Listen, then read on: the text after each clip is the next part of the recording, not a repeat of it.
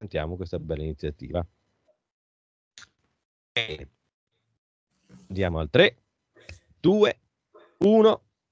Bentornati a tutti, l'antro della tregenda si è reso visibile un'altra volta per noi per questo speciale pasquale, un po' confini, un po' rompiballe e come lo vogliamo chiamare? Il rompiconfini ovviamente. Stiamo lavorando per voi e stiamo facendo esattamente, abbiamo creato questo piccolo speciale, insomma, come vi ho detto prima, per la Pasqua, per confrontare diversi punti di vista, come sempre nella concordia, nella libertà di pensiero più assoluta. Se vedete il sole che sorge dietro di me, una lampadina che fa così, ta, così fa un, un, effetto, diciamo così, tipo Rising Sun, no? Se mi abbasso un pochettino, vedete il sole che sorge così dietro di me, così vedete una cosa molto, molto poetica, anche molto, molto scenica, se vogliamo. Bentornati quindi a questa nostra trasmissione, questo speciale che unisce le forze di due eh, prodotti, eh, appuntamenti mh, diciamo, periodici di Radio Ascolto Live, ovvero Confini come con col mitico Stefano Orsi qui con noi e poi Rompiballe col mitico direttore Simone Spiga qui con noi oggi, quindi abbiamo coniugato le voci forse più caustiche, più ruvide, più polemiche, più analitiche che potevamo trovare qui, qui da noi e abbiamo confezionato questo bel uovo di Pasqua che se tutto va bene non ci scoppierebbe neanche in faccia. Speriamo non ci scoppi in faccia come la situazione che si sta andando a creare, che rischia di andarsi a creare se non manteniamo un po' di buonsenso e un pochettino di vigilanza. Comunque, nel dare il benvenuto ai nostri ospiti, amici, eh, questo speciale, scusate la capigliatura, ho dimenticato l'astico eh, per i capelli su, e sono un po' scarmigliato, avete pazienza, eh. È, lo stile, è uno stile, diciamo così, un po', un po ribelle, ribelle, anzi, ribelle, ribelle. Comunque, che dire, allora, la situazione in questo momento è quanto mai eh, particolare. Mm, sembra di assistere, insomma, a una specie di corsa di corsa al suicidio per una corsa disordinata, una corsa senza le scarpe. Cioè, chi sta correndo verso cercare, cercare di scatenare questa specie di guazzabuglio eh, bellico sembra essersi dimenticato a casa le scarpe e corre a piedi nudi, o si è dimenticato i pantaloni e corre in mutande. Più o meno questa è l'idea, perché l'idea cioè, di un fronte così bellico, determinato e ehm, agguerrito e arrabbiato non sembra eh, arrivare da, dalle comunicazioni, delle, dalle informazioni che c'è sugli scenari in evoluzione, almeno per quanto riguarda l'Occidente, eh. è come dire, è una, come una, vedere una persona che sta andando a testa bassa correre contro un muro di mattoni nell'intento di fracassarsi le corna. Più o meno questa è l'idea. Ora io devo dare la parola a Stefano per avere delle, delle suggestioni e anche delle analisi su questo scenario. Io l'ho dipinto in maniera molto farsesca, però ovviamente Stefano ci darà delle, delle informazioni più, più, elaborate. Poi Simone, se vuole, interviene con delle ulteriori riflessioni. Stefano, volevo dare insomma, fuoco alle polveri come sempre con la, tua, insomma, con la tua competenza. Quindi se vuoi aprire le danze e iniziare, prego. Cosa ne dici questo scenario? Insomma? Guarda, mh, mm, ci troviamo in un momento particolarmente critico.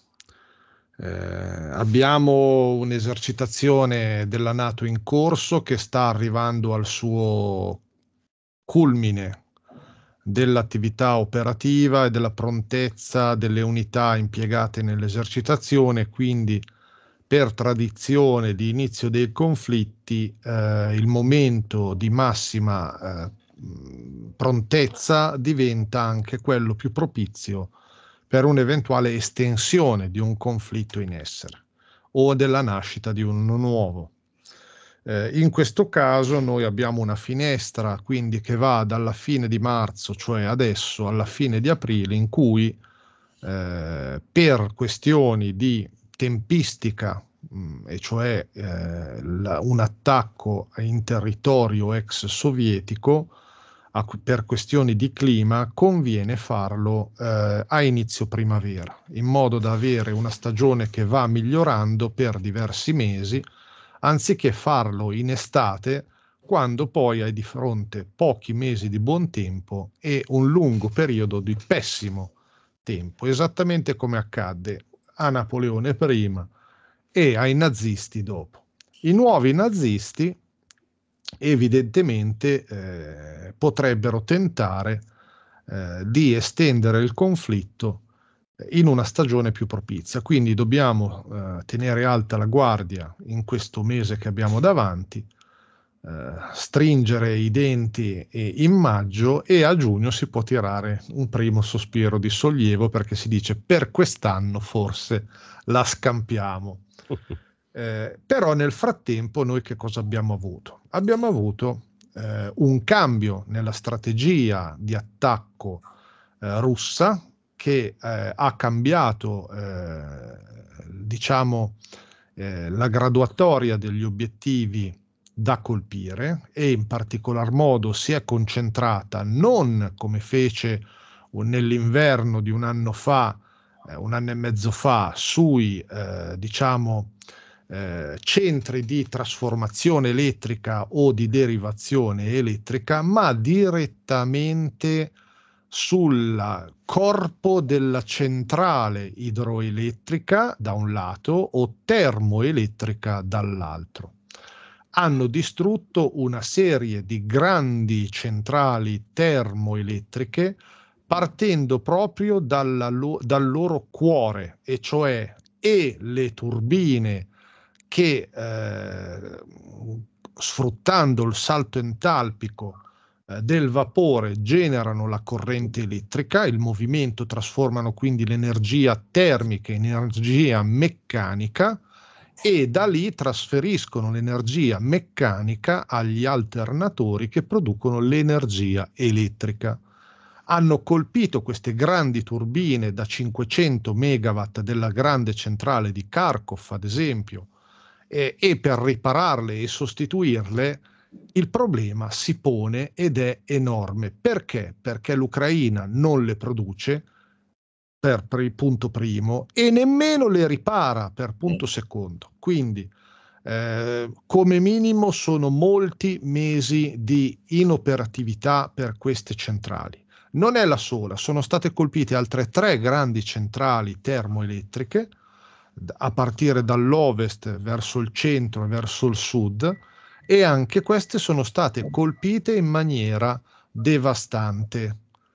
Eh, non hanno finito perché questa notte ne hanno colpite, mi sembra, altre. Adesso devo ancora vedere studiare cosa è successo questa notte. Purtroppo sono rientrato adesso eh, dal, da impegni che avevo fuori per lavoro e non ho potuto esaminare nel dettaglio l'attacco di stanotte che però è stato piuttosto eh, potente. Sono state colpite ad esempio nu- nuovamente le centrali eh, di Kramosk, eh, in particolar modo, eh, no, qui è stato colpito una industria eh, e una centrale elettrica, sì, esattamente, è una centrale termoelettrica. A Kremenchuk poi è stato colpito un altro obiettivo, adesso vi dico esattamente cosa, poi non ho, non ho modo di esaminare al momento i danni. A Kremenchuk è stato colpito un, una base militare, eh, almeno non la centrale ter- idroelettrica che c'è lì, eh, c'è una grossa centrale elettrica, non grossa come quella di Zaporozhye, ma molto grossa, e poi in direzione di Kiev invece è stato colpito lì sì il locale macchine, cioè dove ci sono turbine e altro, della centrale idroelettrica. Mm. Ok, quindi hanno colpito un altro centro di produzione elettrica idroelettrico. Non contenti, non ancora completato il lavoro, è stato colpito nuovamente un, l'impianto di Bear Sticks, se non sbaglio si chiama, non mi ricordo più. Eh, sì, eh, che è una grande centrale, l'hanno colpita nuovamente. Evidentemente hanno visto che il danno eh, del primo attacco non era stato risolutivo, comunque aveva lasciato in funzione qualche parte della centrale, l'hanno nuovamente colpita. Eh, e questo significa che c'è la volontà di privare di produzione elettrica l'intero paese. Eh, senza contare che è stato colpito nuovamente eh, alcuni eh, settori nelle vicinanze di eh, Kharkov. Adesso bisogna anche lì vedere bene che cosa è stato colpito, però è evidente che c'è stato un altro grande attacco questa notte eh, che ha colpito molti obiettivi anche a Odessa. Eh, è stato, poi hanno colpito anche Nikolaev, Eh, e qui abbiamo eh, nuovamente gli impianti di produzione, tra le altre cose. Insomma, questa notte, questa notte si sono dati un gran da fare eh, in quel di, di, Mosca per individuare tutti gli obiettivi che dovevano distruggere. È stata colpita, tra le altre cose, anche una centrale eh, termoelettrica per la prima volta questa nella regione di ehm, Krivoi, eh, scusatemi, Krivoi Rog, sì, esattamente, una grande centrale non lontana, termoelettrica questa, non lontana dal fiume Dnepr eh, e che serviva a compensare l'energia nella, nella regione che eh, non arrivava più dalla centrale eh, dalla centrale eh, nucleare di eh, Energodar, per capirci.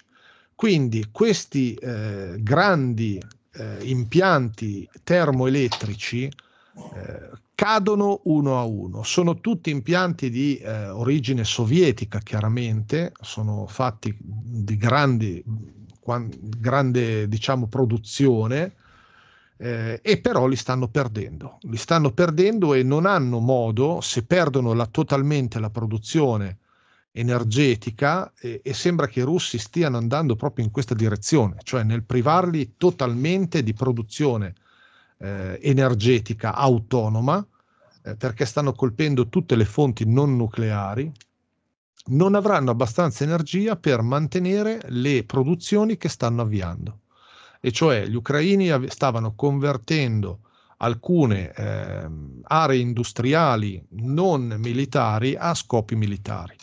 Eh, I russi hanno iniziato a bombardare prima questi, ma hanno deciso di privare totalmente dell'energia al paese. I paesi europei non credo abbiano modo di trasferire energia attraverso eh, le reti elettriche a così grande distanza eh, e fornire una quantità di energia sufficiente a mantenere in piedi il paese. Eh, questo è, credo sia un dato di fatto eh, e questo significa che l'Ucraina va incontro a enormi problemi peggiori di quelli che ha avuto fino adesso, eh, ma l'avevano avvisati anche che eh, di fronte a un prolungarsi del, delle operazioni eh, ci sarebbe stato un graduale aumento del livello degli obiettivi e questo sta accadendo. Eh, da, par su, da, par loro, eh, dopo il cambio di questa strategia, gli ucraini hanno messo in piedi un attentato gravissimo e, sta, e i russi stanno trovando pezzo dopo pezzo i componenti di questo puzzle lo stanno ricostruendo e hanno già trovato eh, le linee di pagamenti eh, in criptovalute che molti pensano non siano tracciabili, ma non è esattamente così, soprattutto per quanto riguarda i bitcoin. E eh, le fonti, le, le, mollicchine di pane portano eh, direttamente eh, a Kiev e ai servizi occidentali. Eh, a fronte di questo possiamo anche dire che eh, le uscite fuori tempo, anzi in anticipo da parte dell'amministrazione americana che gridava alla eh, innocenza di eh, Kiev nei confronti di questo attentato, dico eh, con troppo anticipo perché nessuno ancora aveva detto nulla, eh, si concretizza come una scusa non richiesta e quindi un'accusa manifesta, excusatio non petita, accusatio manifesta, come recita il vecchio proverbio. Eh, nella, nella, saggezza popolare c'è anche la gallina che canta per prima ha fatto l'uovo, no? E quindi eh. eh, noi di questa saggezza popolare ne facciamo tesoro, la applichiamo anche ai tempi odierni e ricostruiamo anche un quadro piuttosto credibile della vicenda. È chiaro che le anomalie eh, di questi quattro pastori tagiki eh, era evidente a tutti, non erano votati al martirio, non sono estremisti islamici, non sono terroristi dell'ISIS, sono eh, frutto dei servizi occidentali. Ehm, Ah, Noi abbiamo come l'ISIS poi Stefano, non è che... Sì, no, beh, ma chiaro, ma l'ISIS oramai che cos'è? È un brand in franchising, no? Ecco. Certo. In, Siria, in Siria sostituirono il brand dell'ISIS ormai eh, degradato, eh, così come anche dovettero sostituire il brand del, di Al-Nusra, che era molto popolare nei primi anni eh, del conflitto in Siria, ma poi diventato antipatico quando si palesò, ci fu un rapimento di un giornalista italiano, ci fu un rapimento delle due, tra virgolette, eh, turiste italiane. Eh, Anche un frate, ricordo. No, il frate Lisis. Sì, hai ragione. Padre dall'olio, sì. è, stato, è stato ucciso eh, dall'ISIS nella regione di Raqqa, se ben mi ricordo. E, e quindi divennero, perché al-Nusra cos'era? Era Al-Qaeda in Siria. Diventò eh, attraverso due passaggi intermedi Ayat Takrir al-Sham, un, un, nome nuovo che poco si collegava dal Nusra e quindi po- continuarono a usarlo. L'ISIS in Siria ammainò la bandiera nera e issò quella gialla delle SDF per unirsi alla, alle milizie kurde e diventare un brand accettabile per, gli, per il pubblico americano e quindi hanno continuato a occupare la zona est del, della Siria sotto i loro padroni americani. Quindi quando eh, loro accusano l'ISIS, in realtà accusano se stessi. Ricordiamo sempre che dopo due anni di sedicente operazione contro l'ISIS, eh, nel 29 di settembre del 2015 eh, la Russia iniziò i bombardamenti contro il califfato e trovò intere strutture assolutamente integre eh, con le catene di eh, approvvigionamenti di petrolio rubato al, eh, al popolo siriano che servivano a mantenere il califfato assolutamente integre e iniziarono a demolire tutto. Ecco, ci, ci, si chiede che cosa mai stessero bombardando prima invece americani, inglesi, francesi, belgi, eccetera, che partecipavano all'operazione antiterrorismo, anti-ISIS. Ecco, praticamente facevano dei buchi nella sabbia del deserto. Utilissimo se cerchi dell'acqua o del petrolio, molto meno utile se invece cerchi di colpire degli obiettivi precisi. Eh, adesso riprendono il brand casualmente, voi direte eh, scherzi del caso, casualmente l'ISIS sembra colpire l'Iran, sembra colpire la Siria, sembra colpire eh, Mosca, no? tutti tranne gli alleati degli Stati Uniti, ma voi non ci crederete. No, voi non ci crederete perché direte, ma sembra proprio strano. O oh, non ha mai fatto un attentato contro un obiettivo legato a Israele. Sì. sì. Mai. Sì, Mai. Anche questo sembrerà incredibile, eppure addirittura, è così. una volta c'è stato, ci fu un, un evento di un attacco, eh, di un attacco missilistico, non mi ricordo, con razzi eh, all'interno del territorio israeliano e l'ISIS subito si affrettò a scusarsi con Israele e a non rivendicare la paternità dell'attacco. Belli- cioè, l'ISIS che si scusa sì, con Israele è favoloso. Sì, Ma d'altronde l'avevano detto, eh, Israele non è un nostro nemico l'ISIS, gli integralisti islamici che...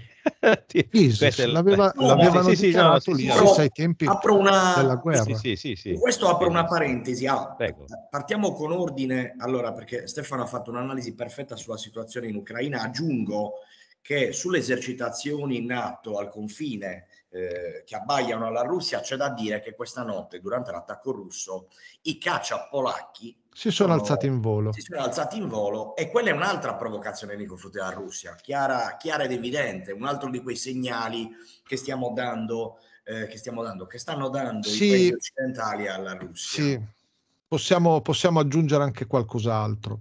L'altro giorno, eh, durante un altro attacco missilistico importante che ha colpito obiettivi anche nel settore di Leopoli, un missile cruise eh, russo volontariamente ha attraversato per 39 secondi il territorio polacco di confine. Eh, l'hanno fatto per eh, chiarire che eh, se manderanno o se dovessero mandare altri generali in territorio ucraino faranno fuori anche quelli. Perché stranamente c'è stata una, una, una specie di gara nell'attribuire eh, a zone vicino al fronte eh, la zona dove è stato ucciso il generale polacco. Alcuni hanno scritto Chasoviar, eh, che è vicino ad Artyomosk, Bakhmut per chi usa il nome nazista, eh, o a Odessa hanno detto altri. Io sinceramente, siccome era stato colpito nei giorni, due giorni immediatamente precedenti la notizia, un centro di addestramento di truppe proprio vicino al confine polacco, credo che eh, fosse lì il generale polacco. Eh, non vedo per quale ragione dovesse andare eh, vicino alle zone del fronte, per nessuna ragione al mondo ci andrebbe. È inutile continuare a dire hanno colpito il comando NATO, hanno colpito, hanno trovato un, ci sono ufficiali NATO eh, come avevano detto a Mariupol o altro, io non ho mai creduto a queste notizie né mai ne ho riportato.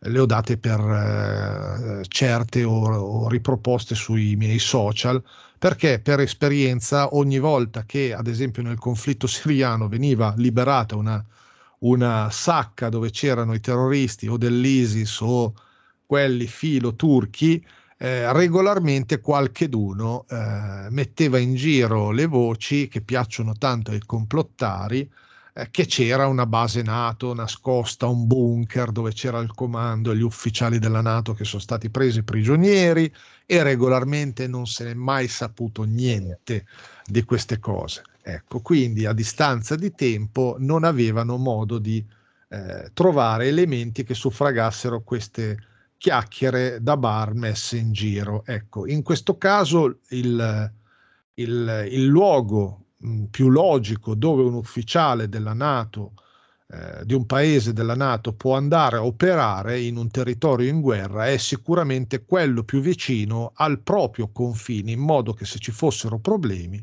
può rientrare velocemente nel territorio eh, della madrepatria eh, senza, senza troppi problemi, mentre invece se si trovasse nella zona di Chasov Yar sotto i bombardamenti eh, russi, ah, innanzitutto rischierebbe di rimanerci secco nella migliore delle ipotesi, nella peggiore addirittura di finire prigioniero, perché vi faccio presente che la distanza di quel bunker eh, dalla zona del, dei combattimenti è di circa due chilometri. Di conseguenza io mh, sfido chiunque, ma mh, non ci sarebbe mai andato, anche perché gli ufficiali della Nato, alti ufficiali, raramente sono molto vicini al fronte, al contrario di quelli russi, stanno in genere molto più distanti, proprio per evitare di essere colpiti e garantire la continuità della catena di comando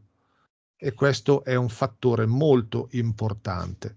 Eh, per quanto riguarda i combattimenti, invece, c'è da notare che ci sono dei, dei cambi nei registri, ad esempio, del, um, delle agenzie come la, la ISV, ad esempio, eh, che eh, è filonato, appartiene alla famiglia Kagan, quindi da Nuland, eh, e che registra, e registra dall'inizio del conflitto le, ehm, le vicende, diciamo, eh, legate al conflitto, fa le sue analisi e adesso sta dicendo che se eh, l'Ucraina non riceve il supporto eh, da parte di tutti i paesi eh, della Nato eh, a livello di economia di guerra, perderà il conflitto ed è quindi necessario che tutti invece si mettano eh, quindi in, in, attività e agiscano per fornire tutto ciò che serve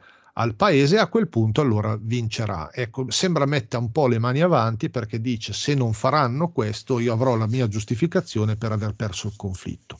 Questo dopo due anni che ha continuato a dire che eh, la guerra inizialmente andava benissimo, che la Russia era in gravissima difficoltà, che la, l'Ucraina avrebbe vinto, che le armi che venivano date erano dei game changer che avrebbero cambiato eh, gli equilibri, quindi permesso all'Ucraina di avere il sopravvento sulla Russia e regolarmente tutto è stato smentito. Beh Stefano, ricordiamo l'offensiva dell'anno scorso, l'hanno raccontata come se fosse la, la, la, la vittoria di, de, del conflitto e poi abbiamo visto i risultati e forse in quel momento sono andati avanti qualche chilometro per poi riperderlo. Sette.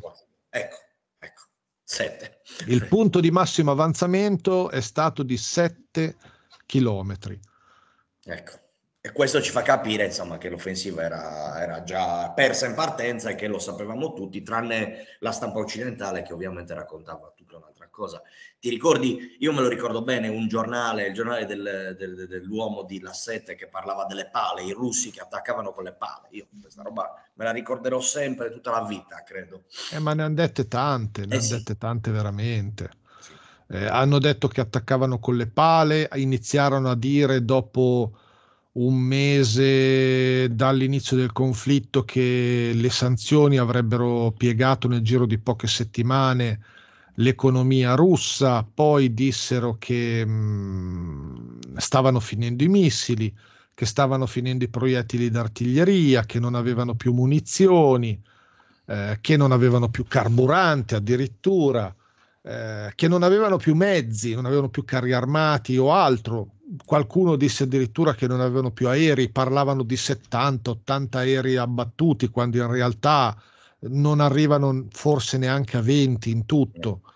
Eh, ne hanno dette di tutti i colori. Recentemente c'è stato un attacco a Sebastopoli eh, con un lancio di oltre 20 missili, eh, di questi più di una decina sono stati intercettati, altri sono arrivati a bersaglio colpendo ehm, il porto di Sebastopoli. Il problema è che eh, qualche cosa non ha funzionato bene come doveva nei, ehm, nelle coordinate, e cioè i missili stranamente hanno mancato di alcuni metri eh, i bersagli. Eh, alcune delle navi ormeggiate sono state lambite dallo scoppio, ma lo scoppio è arrivato sulla banchina del porto e infatti nelle foto satellitari si vedono delle zone leggermente annerite della nave, ma principalmente lo si vede sulla banchina del porto. Questo ci fa capire che il danno alla nave è dovuto al volume dell'esplosione, ma che il missile non ha colpito la nave direttamente. Infatti nessuno, eh, tranne qualche fonte filucraina, ha parlato di affondamento delle navi perché non sono neanche gravemente danneggiate, sono lievemente danneggiate dallo scoppio vicino. Però le foto satellitari hanno appunto evidenziato che non ci, danni, eh, non ci fossero danni consistenti agli scafi delle navi. E questo è un segnale che qualche cosa è stato messo in atto per eh, interferire con il sistema di guida eh, del missile Storm Shadow e questo qualcosa sembra aver dato eh, una qualche forma di eh, assistenza alle difese eh, portuali.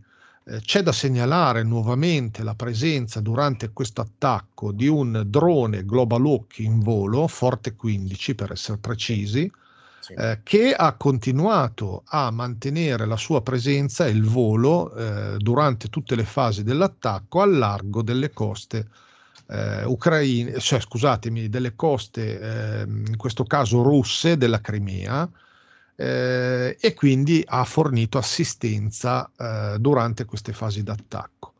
È inutile parlare di, di casualità, oramai è evidente che eh, la funzione di questi aerei radar eh, non è nient'altro quella di guidare sui, precisamente sui bersagli il i, eh, i missili ucraini che attaccano. Chiami- chiamiamoli missili ucraini perché certo. c'erano anche dei Neptune eh, che sono missili di produzione ucraina, eh, missili antinave che vengono lanciati da terra.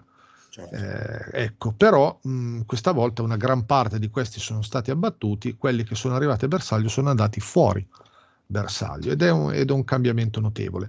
Continuano invece gli attacchi su Belgorod Mm. Prima delle elezioni abbiamo visto come abbiano messo in scena nuovamente una finta eh, operazione contro eh, la Russia fingendo di avere dei, dei, delle brigate eh, di eh, dissidenti russi, mm. che poi come fai a sapersi?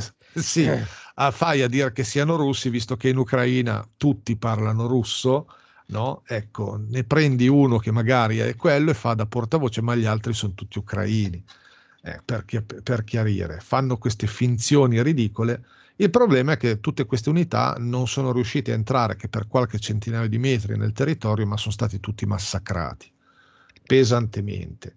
Ecco, ancora adesso ogni tanto quando trovano un bersaglio eh, significativo, i russi li eh, punzonano con una bomba di notevole eh, potenza, l'ultima ad esempio lanciata il 28, quindi ieri pomeriggio, era una FAB 1500, quindi eh, a guida viene lanciato oramai sapete che eh, usano dei kit per trasformare in maniera anche molto economica delle bombe convenzionali in, eh, quindi a caduta, in bombe di precisione applanata guidata eh, con le coordinate GLONASS eh, o GPS ed arrivano con molta precisione eh, sui bersagli. Eh, Stefano, ti pongo una riflessione su questo di Belgorod perché eh, volevo capire la tua opinione.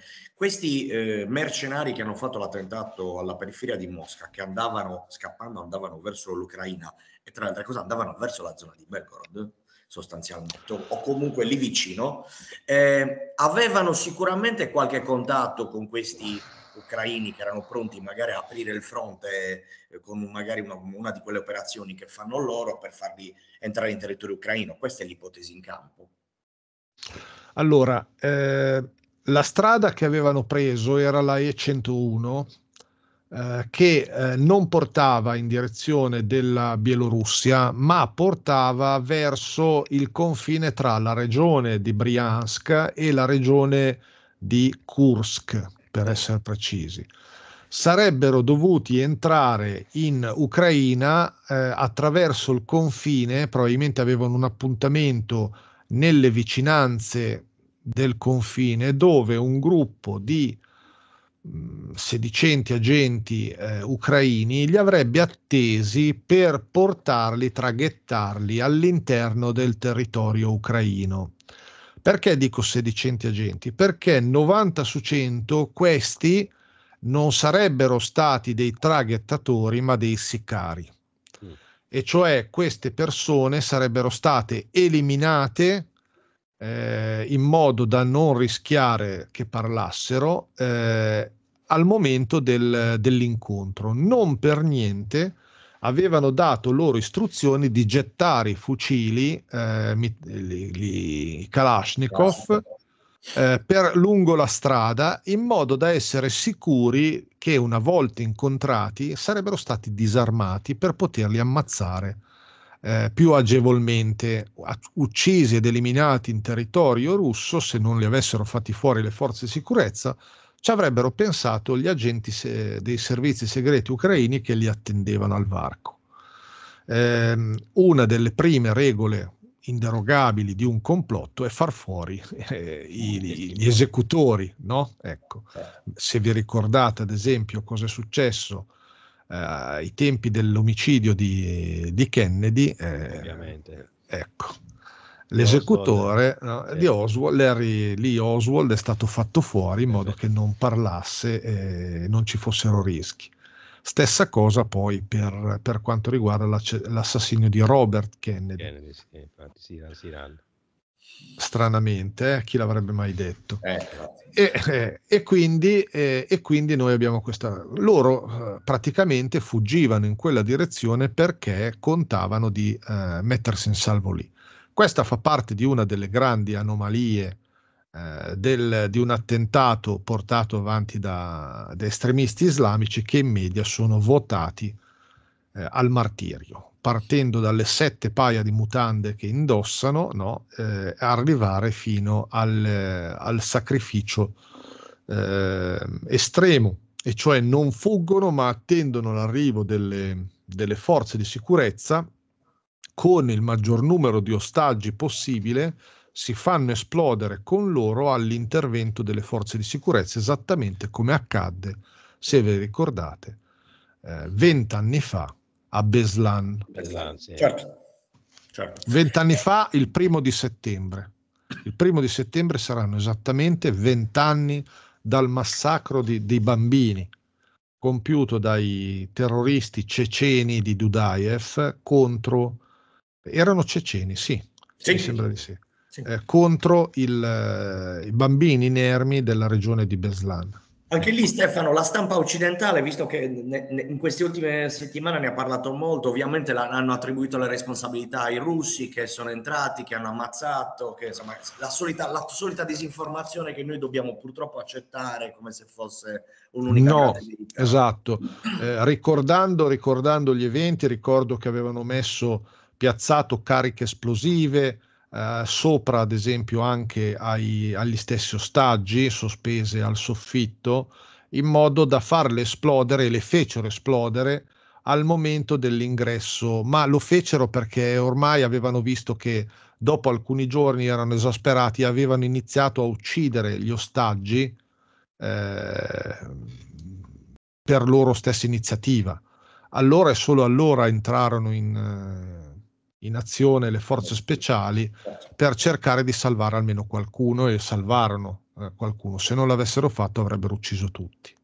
Ecco. Eh sì, e, e, a proposito di disinformazione c'è questo nuovo, insomma, la, la novità, insomma, che non è una novità, eh, stanotte eh, c'è stata una offensiva, ancora una volta calpestando il diritto internazionale, di Israele sul territorio siriano.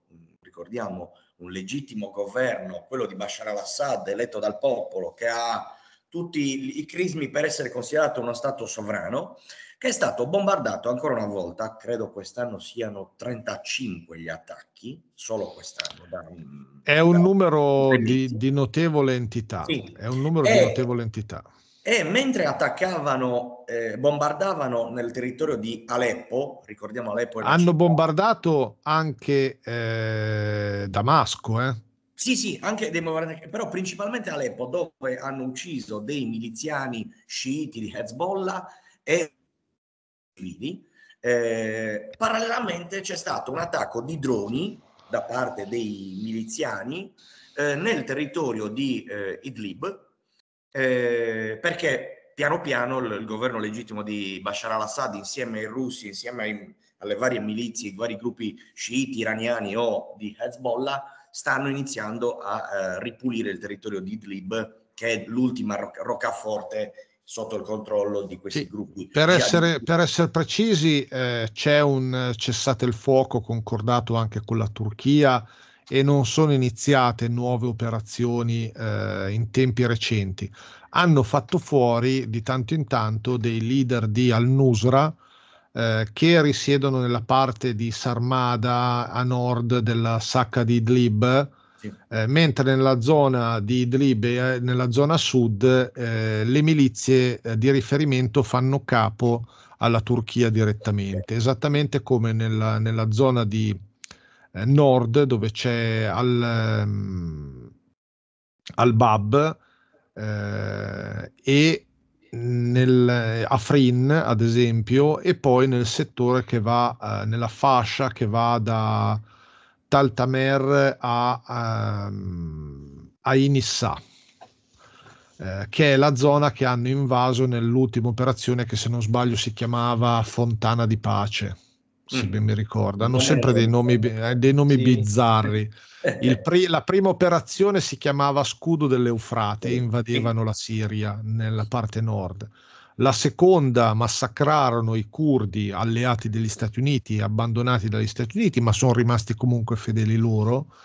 Ehm, perché avevano rifiutato, tra le altre cose, di, di cedere il controllo della regione di nuovo al governo siriano i turchi li invasero, li massacrarono eh, e il cantone di Afrin eh, cadde in mano eh, turca con l'operazione Ramoscello d'Ulivo, che aveva un significato doppio anche perché eh, presero poi gli ulivi di questa regione, che erano molto diffusi e li trasportarono poi in Turchia, eh, rubandone migliaia di piante. Eh, e l'ultima operazione invece si chiamò eh, Fontana di Pace che eh, invase praticamente la fascia nord lungo la, l'autostrada M4 eh, ma con l'intervento in quel caso dell'esercito siriano prima e anche delle forze di sicurezza russe dopo l'hanno stoppati, ecco, perché lì eh, i curdi che, che, prima facevano i superbi capirono che se non fossero intervenuti siriani e russi, eh, i turchi si sarebbero di fatto presi il, il controllo di tutta eh, quella che è una zona dove c'è un'alta percentuale di, di, di popolazione kurda della Siria e eh, ne avrebbero fatti polpette, in poche parole, ecco quello che i curdi chiamano, mm, mi sembra, no, hanno dato un nome a questa regione, ma in realtà è Siria a tutti gli effetti. E comunque c'è da dire una cosa, sì. Che questi attacchi israeliani avvengono sempre eh, nei confronti di o milizie legate all'Iran o addirittura direttamente contro strutture eh, del governo iraniano. l'Iran è informato di questo, la Siria per non avere, vedere attaccate le proprie strutture direttamente in questa fase, ricordiamo che la Siria esce da una guerra eh, di oltre dieci anni e quindi non ha voglia né modo di eh, entrare in un ulteriore conflitto nuovo e quindi lasciano un po' correre questi, queste scorribande eh, da parte israeliana, ma la comunità internazionale eh, di fronte a queste vere e proprie aggressioni e crimini commessi dal regime israeliano dovrebbe invece intervenire. Perché? Perché se vuole essere coerente, se volesse essere eh. coerente, dovrebbe applicare lo stesso metro di valutazione, di giudizio per tutti i casi analoghi e quindi se accusa la Russia di aggredire l'Ucraina,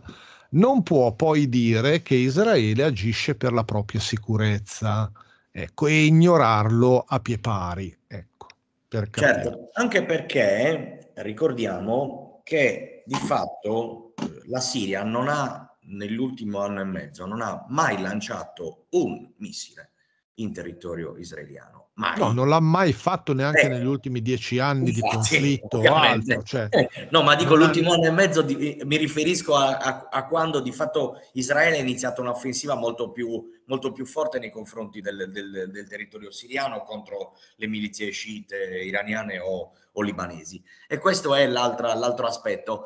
E il, il diritto internazionale, dicevo prima, viene totalmente calpestato proprio per il fatto che ci sono risoluzioni molto chiare anche sulla zona del, del Golan siriano che sono occupate da Israele e che dovrebbero lasciare, eh, eh, lasciare e ridare alla, al governo legittimo di, di, Assad. E anche quello è un altro fronte, cioè noi nel contesto medio orientale oggi viviamo una situazione che è totalmente eh, oltre ogni, ogni cioè, dove viene negato il diritto totalmente. Se da una parte sappiamo quello, il genocidio in atto a, a Gaza e nella, nel territorio, nella striscia di Gaza, dall'altra parte Israele continua a fare operazioni di ogni tipo sia nei confronti del Libano sia nei confronti della Siria con l'avallo, e questo va detto, dei paesi del, del, Golfo, principalmente Qatar e Arabia Saudita, che fanno finta di essere dalla parte della Palestina, ma che di fatto da decenni sono alleati strategici, strategici di Israele e non più tardi di questa mattina, certo. Fanno affari. Fanno affari, fanno affari. Fanno e non affari. di questa mattina eh, c'è l'ipotesi di un accordo, eh, diciamo con l'avallo degli Stati Uniti d'America, dove i paesi del Golfo riconoscono il regime israeliano, che io continuo a non chiamare eh, Israele perché è un regime a tutti gli effetti e non è di certo una democrazia come ci vogliono raccontare. E anche lì ci sarebbe da aprire una parentesi, Stefano, sulla minoranza araba nelle elezioni in Israele, su come le condizioni in cui vivono e quant'altro, perché poi anche lì fa molto ridere quando ci dicono eh, ma sapete eh, la minoranza araba vive in, in, Israele, beh, in condizioni totalmente di, di, di, di diciamo, di marginalità, di fatto è, una, è, un governo razzista, un, uno Stato razzista, quello israeliano nei confronti della minoranza araba e questo bisogna dircelo. Mm, sì. Sì, sì, sì. Ora io Assolutamente. Volevo, sì, Stefano, dimmi, dimmi. che tu stavo, stavo ascoltando con rapimento le vostre analisi, quindi stavo lasciando correre perché era, lo scopo di questa trasmissione era proprio quello di creare oh, un ponte. Ti si vede bene adesso. Eh, sì, sì eh, vedete anche per gli, coloro che ci, stanno, che ci guarderanno, questi che ci stanno guardando, questa non è una porta di un rifugio antiatomico, è la porta di una cantina. Non vorrei che si, che si confondessero. Sono ottimista rispetto a... Che è anche il rifugio antiatomico, dai, diciamo la verità. Beh, no, direi proprio di no. Scavato nella roccia, dai, dai, dai, ammetti. allora, che... Se vuole essere l'altro della tregenda, la tregenda dove si fa? In una caverna? No, mi sembra ovvio. La caverna è la tregenda, però in questo caso è una cantina, un'umilissima cantina adibita a, po- a posto di registrazione, a piccolo studio di registrazione di fortuna, però il mio studio più bello è un'altra cosa, più bello di questo. Comunque, volevo spendere due parole anche per, eh, cioè andiamo che un pochettino verso, traghettiamo verso un pochettino insomma, le, eh, le, le, le somme tirate, ecco. L- volevo tornare in Europa perché all'inizio parto un po' di battute sulla questione dell'atteggiamento dei paesi della Nato nei confronti della Russia e della, del diciamo, atteggiamento scompaginato che questi paesi stanno avendo nei confronti di questa presunta minaccia che minaccia non è, semplicemente un lavoro di propaganda. Ora io stavo facendo una riflessione eh, per i cavolacci miei l'altro giorno e mi sono reso conto che in effetti, a differenza di quello che è successo nei decenni e nel secolo precedente, con i conflitti mondiali, tutta l'opera diciamo così, di mobilitazione delle masse che eh, si è verificata nel periodo storico che ha preceduto eh, la, la, seconda guerra mondiale, eh, c'è una differenza importante. Questo periodo storico c'è un'enorme differenza fondamentale nella, nella capacità, nell'incapacità di mobilitare le masse. Le masse non sono più sensibili come un tempo a determinate forme di entusiasmo militante, sì. la propaganda lavora molto peggio, quindi anche forse l'informazione, per certi versi la controinformazione, lavora molto meglio. Il risultato, scusate, stavo cadendo sulla sedia, eh, oggi, oggi, è la mattinata degli incidenti, non c'è male, perché a Pasqua, a Pasqua con chi vuoi anche gli incidenti. Comunque, L'atteggiamento che mi sta uh, saltando all'occhio, che sto rilevando de- da parte delle, delle masse, dell'opinione pubblica, è comunque di disaffezione nei confronti di certe forme di, diciamo così, di entusiasmo patriottico, di difesa della patria, del territorio, perché di quello si tratta, non è difesa del territorio, tantomeno difesa degli interessi nazionali, è un gioco di persuasione mal riuscito nel tentativo di buttare altra carne al macello. Ora, è interessante vedere come i paesi, in questo momento i paesi europei, stiano giocando chi più chi meno a smarcarsi e alcuni invece stiano cercando il più possibile di buttarsi, buttarsi nella mischia, per esempio penso ai paesi baltici che non vedono l'ora di entrare in guerra, armiamoci e partite, alla Polonia che non vede sì, la Francia ha fatto riferimenti Francia. molto chiari e diciamo tra i paesi eh, europei quello che mi preoccupa maggiormente mm. per due fattori e per eh, la guida che ha eh, il presidente Macron, che credo sia una persona emotivamente non stabilissima. No. Eh, e Neanche per la, la storia di passato che ha eh, legata quindi a una grandeur, un'idea di grandeur, un convincimento di essere ancora una sorta di potenza eh, che può creare un, diciamo, una errata percezione eh, delle proprie capacità eh, e quindi imbarcarsi in una operazione che di fatto non è alla sua portata. In passato l'abbiamo visto quando tentarono di mantenere l'Indocina sotto il loro controllo, quando gli americani, tra le altre cose, operavano proprio perché invece passassero di mano loro. Eh, e poi si sostituirono in parte nel Vietnam, che ne, ne nacque dopo la, la, la caduta del, dell'Indocina francese. Eh, l'abbiamo visto in Algeria, dove hanno cercato di, di mantenere il, il, controllo su una colonia e, e di fatto eh, hanno perso la loro influenza eh, in Africa perché non riuscivano a venire a capo eh, dei problemi di sicurezza legati ai paesi dell'Africa del Sahel. Stefano, pratica, a proposito di questo, scusami, ma è importante, ricordiamo che la Francia sta eh, nell'ultimo anno ha perso di fatto il controllo di quattro nazioni eh, dove ci sono sì. state delle, delle, liberazioni vere e proprie, il Burkina Faso, il Niger, il, eh, il, Mali e ora il Senegal, visto e considerato che le ultime elezioni hanno visto... C'è anche una... la Guinea. C'è anche la Guinea, è vero. Quindi, in Senegal avrebbe vinto l'oppositore, però sì. ufficialmente non ha preso ancora eh, no, certo. potere. Dobbiamo vedere poi come agirà una volta, una volta entrato nel pieno delle sue, diciamo, eh, nel pieno del controllo del paese.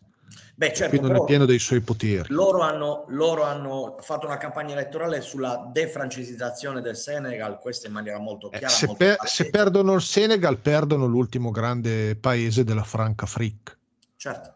Di fatto, ne resta ancora qualcuno, eh, il Camerun e altri, eh, ma eh, di fatto i paesi principali erano quelli che hai citato, cioè il Sahel va via tutto e ricordiamo che proprio qui la Francia aveva le sue forniture personali di ehm, carburante per le eh, centrali nucleari, cioè l'uranio, che fino al 2013 i signori eh, cugini d'Oltralpe hanno estratto senza nemmeno pagarlo cioè pagavano solo il eh, lavoro, le imprese, altro ah, che lavoravano eh, male probabilmente, eh, le sottopagavano diciamo più correttamente e, e, poi invece hanno iniziato a pagarlo nel 2013, ma nemmeno poi probabilmente a cifre di mercato. Il Adesso... Niger, il Niger produce il 7% dell'uranio mondiale. Solo Esattamente. Ecco, e lo dava, di fatto lo regalava alla Francia. Questo Esattamente. È, Esattamente. La, la, la, festa di liberazione del Niger è di fatto il vero colpo al cuore ai francesi. Questo è un dato di fatto. Sì, esattamente. E da lì cambia l'atteggiamento di eh, Macron nei confronti anche del conflitto. Perché? Perché il Niger, anche quello, eh, ha fatto appello alla Russia per essere eh, difeso e aiutato eh, di fatto si sta creando nel, nell'Africa con la Repubblica Centroafricana, il Sudan eh, e altri paesi che sono però in orbita anche cinese perché c'è anche l'influenza cinese che sta crescendo molto in Africa e non è un nuovo neocolonialismo come dicono no. da noi. Esatto. La Cina sta colonizzando l'Africa. E eh no, no. perché fino adesso chi c'era? Eh sì, c'era, eh, esatto. In realtà che cosa fanno? Offrono migliori contratti per tutto, per la fornitura delle materie prime, per la manodopera, per eh, tutte le infrastrutture che vanno costruendo. Ci guadagna, non è che non ci guadagnano. Ci guadagnano, ci mancherebbe perché ci anche loro estraggono, sì. estraggono il più possibile, anche loro per carità, però pagano meglio. Sì, non ci vuole molto, nel senso hanno capito che a essere migliore degli occidentali in termini di offerta di profitto non ci vuole tanto. Ti offro quel 20% in più, ti do infrastrutture che potrei tranquillamente costruire senza grosso sforzo, nel frattempo guadagno io e faccio guadagnare anche te. Non è difficile alla fine. questo va inserito nel quadro del progetto di Xi Jinping che vuole aumentare il eh, reddito disponibile nel resto del mondo per assicurare ai prodotti cinesi un mercato di sbocco. Mica scemo. Eh, eh, vogliamo dire anche che ha creato dal nulla un enorme mercato interno perché facendo scelte diametralmente opposte a quelle dei nostri signori padroni occidentali, invece di impoverire eh, la classe media e la classe operaia, la Cina ha agito al contrario aumentando gradualmente i redditi per tutti in modo da creare gradualmente nell'arco di vent'anni un enorme mercato interno. E questo eh, sono riusciti a farlo eh, e adesso hanno, oltre al, all'esportazione, hanno uno sbocco interno per i propri prodotti. Eh, e quindi le loro marche eh, che producono automobili, che producono elettrodomestici di ogni tipo, che producono qualunque tipo di eh, prodotto non marchiato occidentale hanno un enorme mercato di crescita e stanno prendendo il posto dei brand occidentali in tutta l'Asia. Stefano, apro una parentesi anche qua dal punto di vista sì. della, del, della, geopolitica. In tutto questo poi c'è la questione Taiwan. Non più tardi di ieri mattina la Cina ha detto chiaramente agli Stati Uniti d'America, ragazzi belli, finite le interazioni militari con Taiwan perché state superando il limite. E, e questo, certo, è, e certo. questo è un altro versante sul quale bisogna riflettere, perché la Cina, è, come la, la Russia, deve di, difendere i propri interessi. E siccome i propri interessi sono gli interessi geopolitici. Ma mondiali. come anche gli Stati Uniti, eh, come anche certo. dovrebbe fare in teoria l'Unione Europea e invece non ha fatto. L'Unione Europea perché non ha difeso i propri interessi? Perché eh, i propri interessi erano avere le materie a buon prezzo con contratti di lungo termine eh, con la Russia e invece l'Unione Europea ha imposto agli Stati membri e alle società eh, legate al settore, ad esempio, della distribuzione energetica, di fare contratti a spot, facendo di fatto un regalo agli Stati Uniti.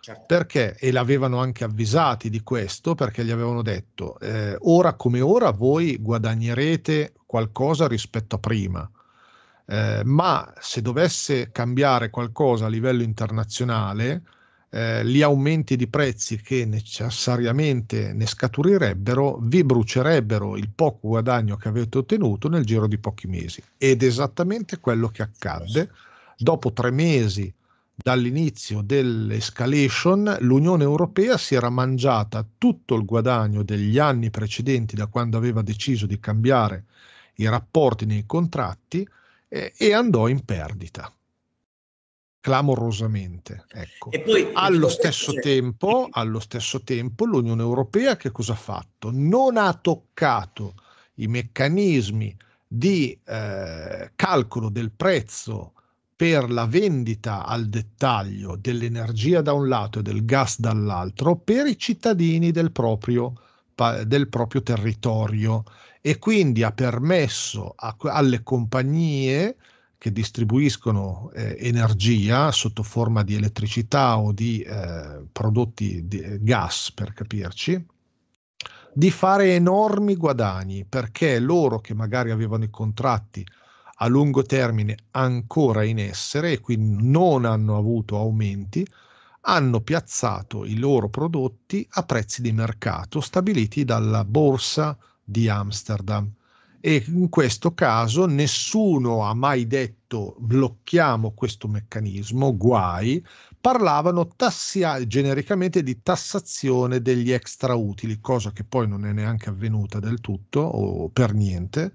E, eh, e questo perché? Perché evidentemente a comandare nell'Unione Europea non sono eh, gli interessi delle popolazioni che votano, ma gli interessi delle lobby economiche che governano. Poi c'è Stefano anche la schizofrenia nostra della, del gas algerino, perché poi fa ridere anche questo. Noi abbiamo chiuso le, l'arrivo del gas dalla Russia per prenderlo dall'Algeria, ricordiamo il governo, l'ultimo governo, il governo di, di, del nostro eh, come si chiama? Draghi, insomma, e, eh, e, e, poi fa ridere perché l'Algeria entra nel BRICS, di fatto diventa economicamente alleata, lo era già la Russia, e in più il gas che noi prendiamo dall'Algeria è di fatto Gazprom perché sono giacimenti ha il, oltre il 40% di partecipazione sì. nella società che estrae certamente eh, non solo, ma noi abbiamo potuto prendere quel gas esclusivamente per una questione legata ai dissidi tra eh, l'Algeria e eh, il Marocco di fatto, perché eh, con anche la Spagna che ha tenuto dei rapporti col Marocco, l'Algeria ha deciso di sospendere le forniture di gas eh, a entrambi e quindi aveva la possibilità di fornirne di più a noi. Cosa che però se dovesse riprendere magari dei rapporti con eh, i due paesi, eh, si crea un problema perché al momento non esiste la possibilità di aumentare la loro produzione se non scavando nuovi giacimenti che stanno sondando, però mancano anni a che venga creata una rete di estrazione sufficiente per poi sostenere una fornitura per una nazione intera. Eh, e di fatto quindi eh, è vulnerabile un po' la nostra eh, fornitura di gas da questo punto di vista, anche perché la destabilizzazione della Libia, sempre operata da Francia, Gran Bretagna, Stati Uniti, con la complicità gravissima dell'allora governo Berlusconi che sospese, forse ricattato, ma comunque colpevole ugualmente, eh, il trattato di amicizia italo-libico, eh, mi ricordo Frattini che, che, lo sospese perché erano tutti atlantisti e quindi non bisognava andare contro gli, gli ordini degli Stati Uniti, neanche contro, a favore degli interessi nazionali, sospesero il trattato di amicizia distruggendo in un colpo solo la, tutta la credibilità che l'Italia ancora aveva e eh, segnando eh, probabilmente per sempre nostra, il nostro peso nell'economia del, del Nord Africa di fatto. Eh, dalla Libia non è più arrivato regolarmente eh, petrolio o gas, eh, non ci sono stati più investimenti produttivi perché è un paese estremamente instabile dove si combatte fino a un paio d'anni fa, si combatte, tre anni fa mi sembra, la guerra aperta tra le fazioni e dove può riprendere da un momento all'altro, quindi questo non garantisce assolutamente investimenti, mentre quando c'era Gheddafi era probabilmente il paese a maggior crescita economica di tutta l'Africa e dove i cittadini erano benestanti. Era la Libia un punto di arrivo per i migranti africani, non un punto di partenza. Ecco. Ricordiamo il libro verde, io ho avuto la fortuna di leggerlo, ricordo bene, materia economica e sociale, il, il governo Gheddafi era veramente un'avanguardia. Tra le altre cose, uno dei motivi per cui è, stato, è stata distrutta la Libia e ucciso Gheddafi è perché voleva la moneta africana, che era la moneta certo. alla moneta francese. Certo. Era un leader del, dell'Unione Africana eh, che voleva la totale indipendenza e una moneta comune tra i paesi eh, del, del, continente africano, comune nel senso come riferimento, moneta di riferimento, che quindi avrebbe eliminato in parte il dollaro da un lato e il franco CFA dall'altro. Certo, certo. Poi Stefano, ti apriamo l'ultimo fronte, visto che parliamo di confini. Sì, che poi devo, devo, purtroppo andare. Sì, sì, sì, non c'è problema. Velocissimo, Venezuela. Simone che è in piena per questo, lascerò la parola eh, a lui che andiamo L'ultimo fronte è quello venezuelano, poi chiudiamo, dai.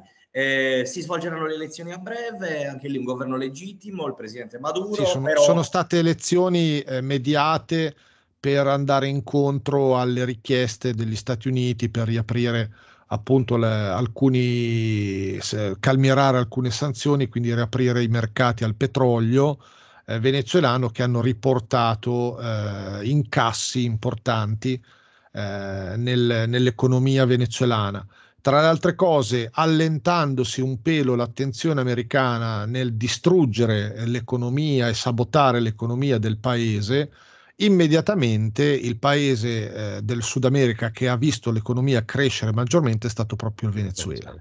Questo proprio perché eh, si è evidenziato l'ingerenza e il peso del negativo dell'azione americana nei confronti di un paese sovrano che, come il Venezuela e quanto questo pesasse sui problemi di quel paese. Quindi eh, sono stati smentiti clamorosamente tutti i detrattori del governo Chavez prima, Maduro poi, che parlavano del socialismo che crea eh, distruzione nell'economia e povertà diffusa, è tutto il contrario, era il capitalismo americano che operava per sabotare una realtà che funziona e che ha portato molte migliorie nelle vite dei cittadini. Senza dubbio, senza dubbio. Comunque, allora, i fronti più o meno l'abbiamo affrontati, questa era insomma una specie di, diciamo così, di piccolo, di piccolo ring dove far incontrare due visioni, due visioni particolari, simili per molte cose, la maggior parte delle cose, comunque era un piccolo specialino, festicciola per capire insomma, se eh, potevamo avere buona Pasqua. sì, anche, come dire, ma anche buona visca, però in Sardegna si dice anche così, nel Cagliaritano soprattutto siamo soliti festeggiare buona, buona pesca e buona Pasqua, capito? Tradotto in italiano corrente. Comunque, questa è stata una splendida occasione per inco- far incontrare eh, sì, fa, bella puntata, bella puntata, analisi, quindi potrebbe essere anche diciamo così, l'inizio di una, una collaborazione periodica che potrebbe portarci Molto ad esaminare scenari internazionali con, molta, con molto interesse, con, uh, con, molto, con, molto, vigore intellettuale, quindi assolutamente fa piacere poter fare queste cose. Quindi speciale Pasquale, eh, perché dire... Eh, che lo siete goduti l'uovo di Pasqua non vi scoppierà in faccia, tranquilli, siamo ancora in pace. Esattamente, scusate il tremorio, eh, c'era un, il tavolino, oggi, oggi sedie, tavolini che tremano, porte eh, strane dietro, una, uno speciale tutto con i fiocchi, veramente meraviglioso. Comunque, eh vabbè, il bunker devi sistemarlo, eh, mi spiace, ma... Voi non vedete quello che c'è alla mia destra, perché no, ovviamente il mio spazio esatto è un maestro pieno di tutto, quindi io vi dico, vi suggerisco di accontentarvi della porta, che è tanto meglio così. Detto questo, ringrazio tantissimo Stefano Orsi per la sua presenza, Simone Grazie Spiga per la sua ricorrente presenza eh, insomma, qui da noi e quindi questo rompi con vi dà la possibilità di festeggiare se possibile degnamente la Pasqua, quindi intanto buona Pasqua, Pasquetta, girate, mangiate, bevete, godetevela la salute, anche perché dovrebbe accompagnarci un po' di bel tempo, quindi saremmo anche doppiamente fortunati.